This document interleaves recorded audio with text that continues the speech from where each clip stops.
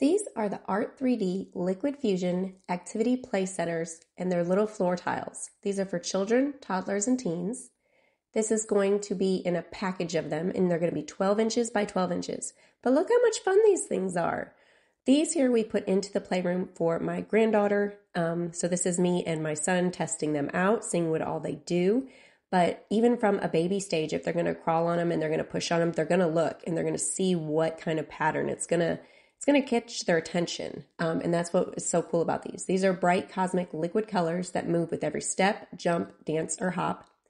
And then there's no installation required. You can place them anywhere in the room and they're not permanent. You just set them down.